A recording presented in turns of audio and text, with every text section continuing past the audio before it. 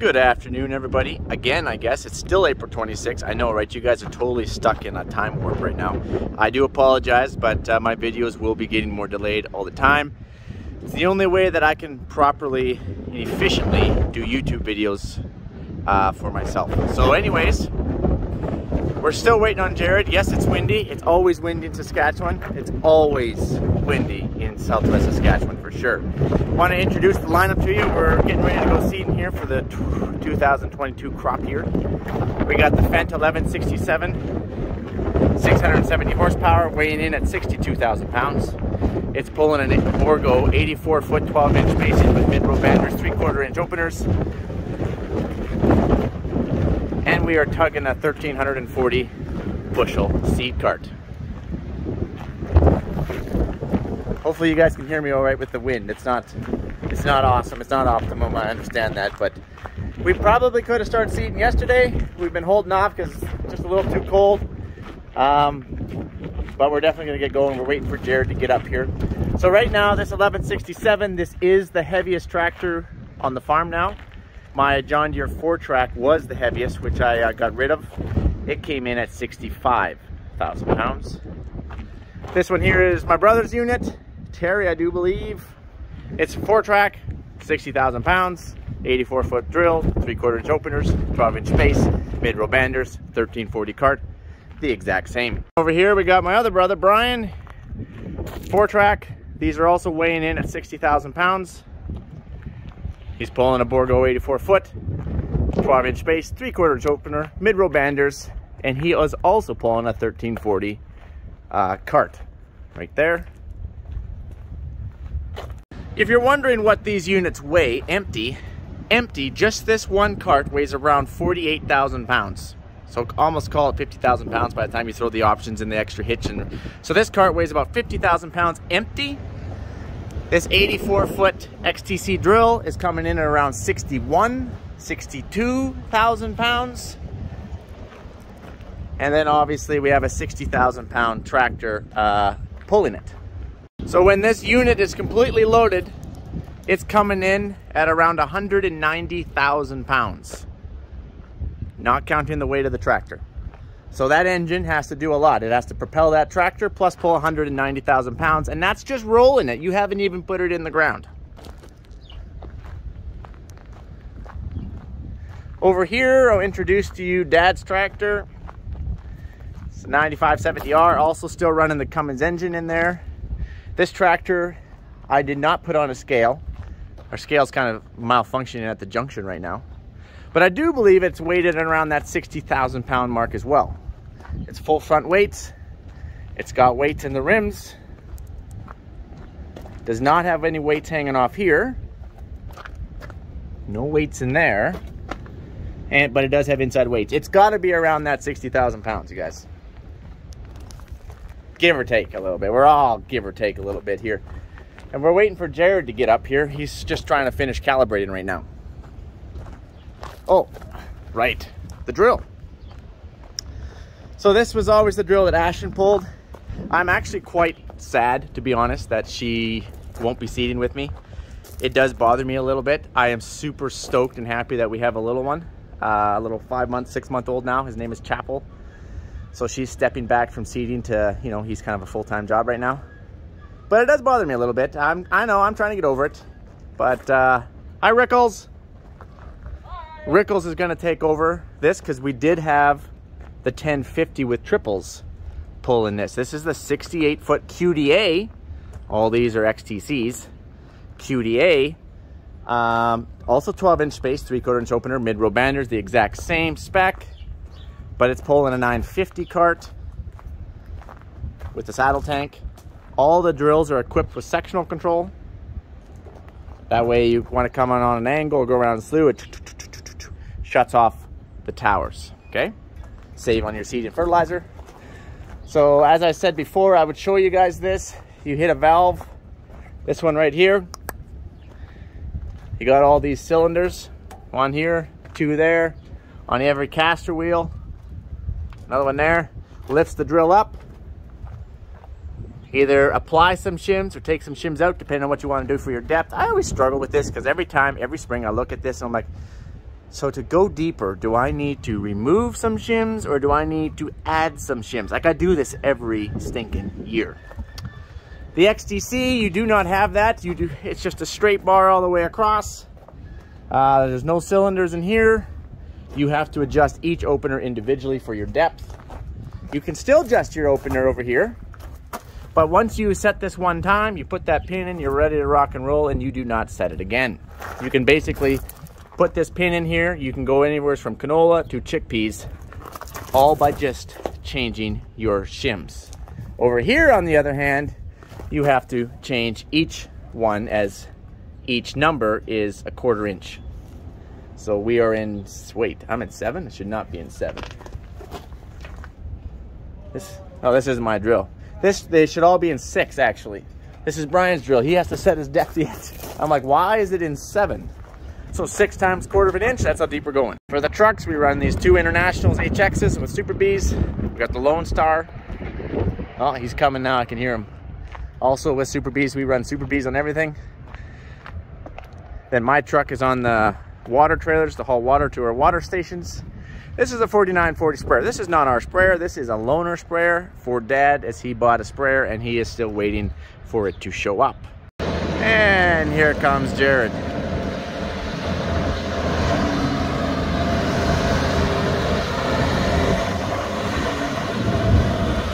So Jared, he is rocking the uh, 9560 RT. It has the John Deere engine in there. He has a pretty heavy two-track as well. It's actually coming in. I think I've said it was around 57,000 before, but actually I, think, I do believe that is mistaken. When I look back to what I wrote down at when we scaled it, it's actually around 59,000 pounds. He's also rocking an 84-foot, 12-inch base, three-quarter inch opener, mid-row banders, XTC, Exact same drills we're rocking. Only difference is, is he has a 950 cart, just like this 680, the 68 foot. 68 foot has the only cart with an auger on it. Jared also has a conveyor, but it's definitely not the same conveyor as what's on the big carts, the 13. The 13 carts have a gigantic conveyor, and uh, it's a smaller conveyor on the 950s. Also sectional control, everyone has sectional control. Everyone has saddle tanks. Uh, Everyone has bulk booms. Everyone is loaded and calibrated. And everybody has hitches. Never mind, I'm proved a liar. Jared does not. Oh, man. All right, so now we're all gonna wander over and grab a picture or two. We're gonna have a little uh, word of prayer for our season get, to get set up. We always like to start the season off with, a, with everybody with a word of prayer. And then we are all gonna roll out. Gosh, it's windy. And we're out of here, guys. Wow, is it ever windy out there. I apologize about that. That is just ridiculous. But uh, anyways, uh, Terry's just left. Jared has to do something with his drill. I'm not sure, but Brian's going to help him out. Um, the teams are going to be myself, Rickles, uh, and Brian. So basically the same teams as we had last year. And it's going to be Jared and Terry on team one or team two. We don't know who's team one and we don't know who's team two. Everyone always says that team one, who's two drills, or can always compete with the three drills, but it's it's funny because uh, we always get sent to some of like the farthest stuff. We get sent to the farthest stuff. My older brother, you know, he doesn't like to move as much, so he likes to stay closer. So he can wrap a lot more acres because you're way more efficient if you don't have to, you know, if you're not sitting on the road for seven hours going to your next field. And so I was like, well, I don't know about you guys, but I've already wrapped 5,000 acres on my drill. And we're like, holy cow, I'm only at like 3,000. They're like, ha, you guys are underperformers. But it's tough, right? Because, you know, we're spending all the time on the road moving. But uh, anyways, that's the teams. Pretty much the same as it always was.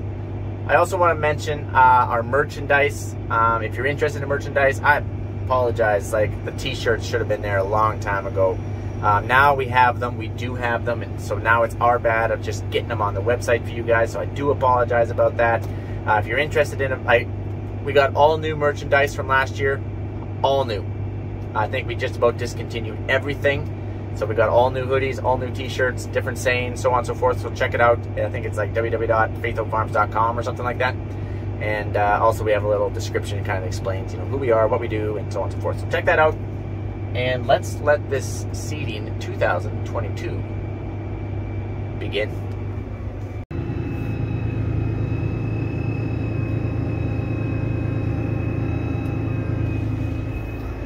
Let's get cracking.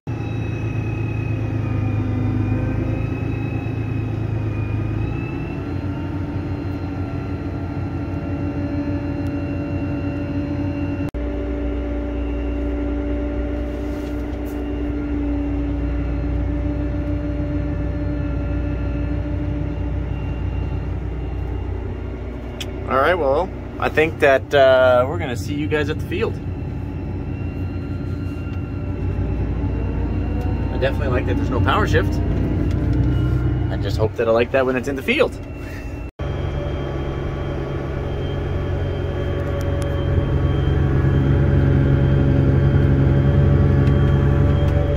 Do you believe that Jared is behind us? According to Jared, Rickles is behind us. We're not going too far.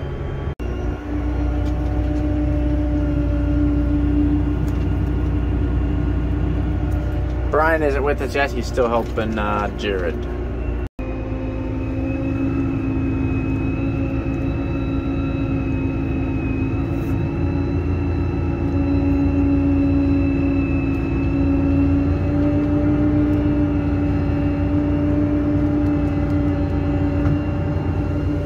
Hmm. Woo! Gotta be careful this two track. I'm a two track noob.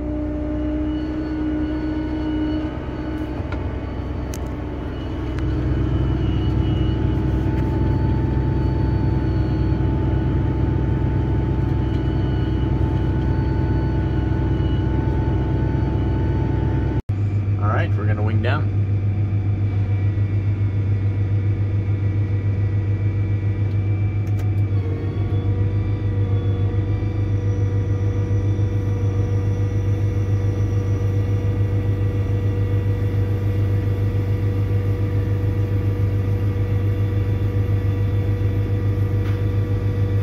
Okay, we had to turn our fans on here, and now we got to run outside and uh, face that wind. We got to do run checks. Okay, we got our tanks on. We're just gonna hit this. They're lighting up green. You hear it?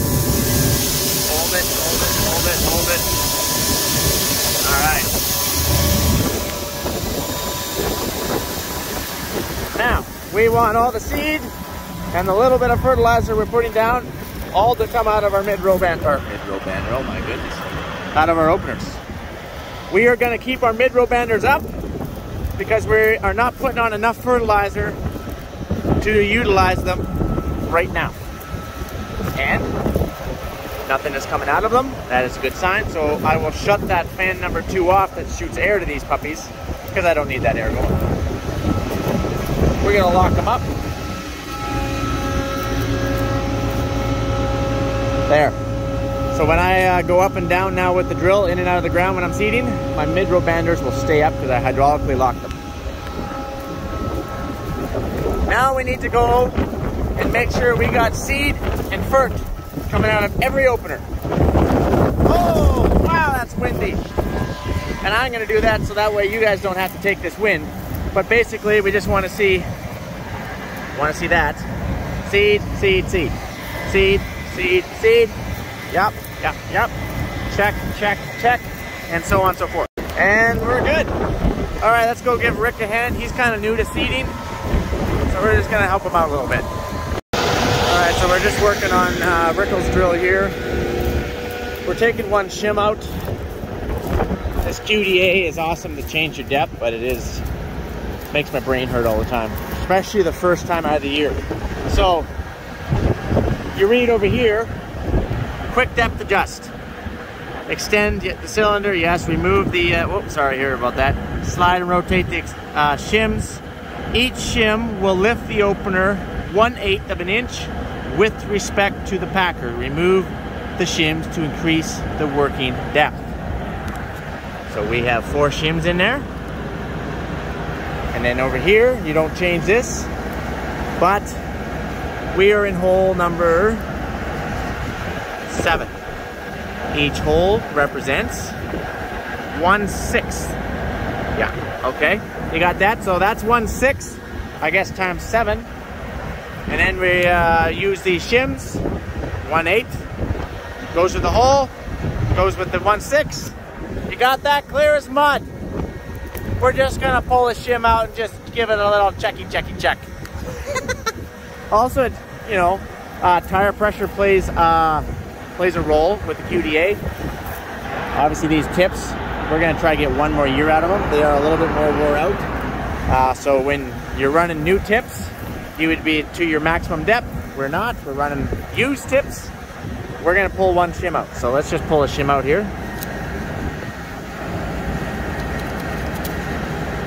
Not too, Mike. Not too, buddy. Come on. It, look, and I'm working with air. Okay. There we go. Put our, put our pin back in here. Of course, nothing likes to line up properly. That's how I like to roll. It's that one shim. There it is. Okay, I gotta put my phone. All right, so we got that back in. So then you gotta do these ones. You gotta do these ones. And you gotta do them all. So I'm gonna get working on that here. Rick, what do you think? That's a lot easier than doing the XTCs. Oh, oh yeah. I think we should change it all. Well, I don't know about that. It makes my brain hurt all the time when I'm looking at my depth. all right, this is our valve. You want to hit our valve there, Rickles. There. You do not know how many times I've went seating with that valve up. And I'm like, man, what the heck is going on with that drill back there? And I realized my drill's still up because I forgot to put it down. Okay. We did a run check on Rickles. He's gonna put it in the ground and we're gonna dig for a little bit of seed. You cannot start seeding without digging for seed. That cannot be done.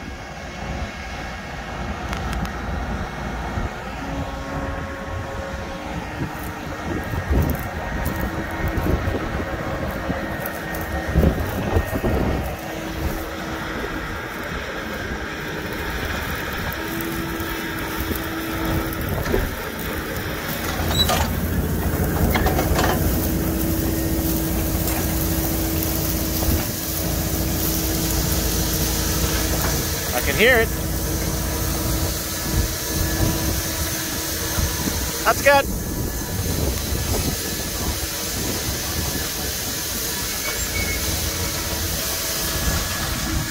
There, I'll turn around here so we can look into the sun. I Need to get my screwdriver. There it is. Ah, oh, I'll fill the back in. Hold on here. Hold on, guys. Right there. Okay, right there. See it? See it? That kernel? Kind of red looking? Right? There. All right, let's get back on this rig here. Whew, sorry about that wind. It's just ridiculous out here. Okay, I gotta do some tweaking to this thing to get it uh, fully operational. Uh, Tim, my sales guy's here. He's gonna work, go through this hitch and stuff with me. I will catch you guys after that. You know, I've always said you never start by the road. You never, never start your first pass by the road. Well, Tim and I, we're starting our first pass by the road. I don't see how this could go wrong.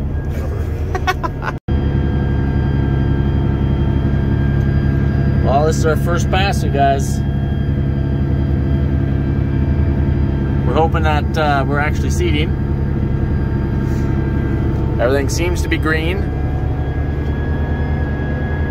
You can kind of hear the tractor a little bit. It's pulling pretty easy, at least it feels like it's pulling pretty dang easy. Though it should, our mid-row banders are out of the ground, it's pretty dry.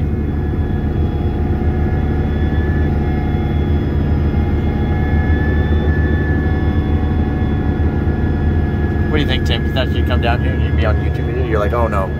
You're I just like, you're like, shoot, I was trying to avoid that. I didn't sign up for this. just trying to come down and show him how to run his tractor, and then he pulls out his camera like, oh no. yeah, here we go. Oh, here we go. Oh no, Tim's an awesome guy. All right, so uh, Tim just left. Uh, we've been going for probably about an hour or so now.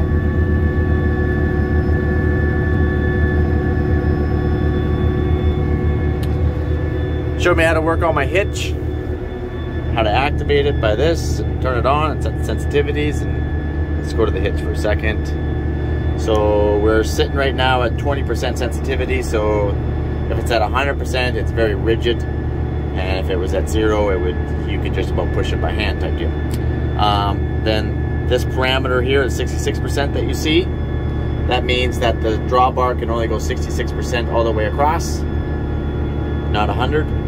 And so basically that 70% mark is pretty much all I can go. And we just about felt, found that out the hard way because when my hitch swings over, it yanks on those hydraulic hoses and that wiring harness back there very tight, very tight. And I'm like, well, no big deal. I'll just grab a 9 16 wrench right there, loosen off those clamps, and pull it some more. Well, once I grabbed the 9 16 wrench and started pulling on it, I realized that my hoses are already as long as they can be. So we can't run even 80%, never mind 100% uh, usage of our of our hydraulic swinging hitch because I'll rip my hydraulic hoses right off my air drill. So that is kind of unfortunate. I didn't even think to check that. And of course now we're seeding. And being that it's so dry, I probably won't do anything about it. I'll probably just keep it right there at the 66% and uh, and run it. I don't know. But anyways, that's kind of the dealio. So uh, we're seeding durum. We're only seeded at uh, 70 pounds, so that's just a little over a bushel. Bushel 60 pounds. That's pretty normal for us. We're normally that 70 to 80, 70 to 90 sometimes, but being it's so dry, uh, we've backed our seeding rate down, and we've we're putting basically zero fertilizer now. Like we have a full crop of fertilizer sitting. We have enough fertilizer right now in the soil without adding any for like a 45 or in some places a 50 bushel uh, crop.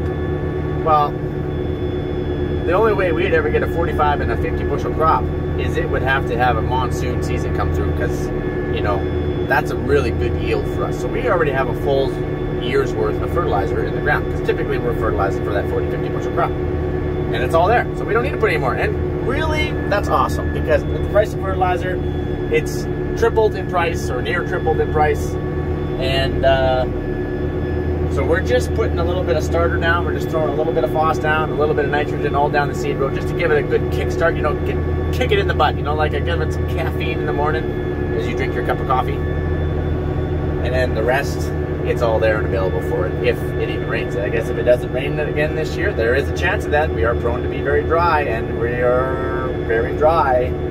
Typically, droughts come in spurts, you guys. We're obviously praying for rain. But uh, if it doesn't rain, well then awesome. We didn't actually lose near as much money as we could have. If it does decide to start raining, no big deal. We have enough crop, we have enough fertilizer in that soil for a good crop. Obviously, if it decided to turn to like the rainforest around here and just never quit raining, well then I'd push our nitrogen down and then I guess if we were at that situation or that kind of problem, then I guess we'd be looking at putting some liquid or granular and blowing it on on top, depending on the crop stage. So right now, let's get back to the tractor for a second. We are sitting at 1470 RPM. It is sitting on TMS. We are in TMS mode. Oops, sorry about that. Um, so the minimum it will drop is 1350 the reason why we set it at 1350 is because if we're turning a corner and it takes like no power to turn a corner, we don't want to go all the way down to a thousand and then as soon as we stick it in, it goes, it's trying to catch back up. we we want to take that lag out. So we put the minimum 1350 and it's running around that 14 and 1470. So obviously it's pulling really easy right now, but we all expected that. All the tractors are just going down the field at like half like 50, 60% horsepower. It's super easy to pull. We're on flat fields. To us, these are very flat fields. Our mid-row banders are up because we're not putting any extra fertilizer down. And they take quite a bit of horsepower to pull as well. It's decently quiet. It's not 1050 quiet. But I might jump around to some of the other tractors and I'm also going to open up my uh, app for uh, uh, count the decibels. This one I feel has a little bit more of a whine in it. Don't know if it's hydraulic or turbo. Haven't figured that out yet, but doesn't matter. But as of right now, I'm happy with it. We haven't even begun to test this thing yet. So this is basically day one of seeding. We've had lots of issues. Jared, I don't know if he's still going.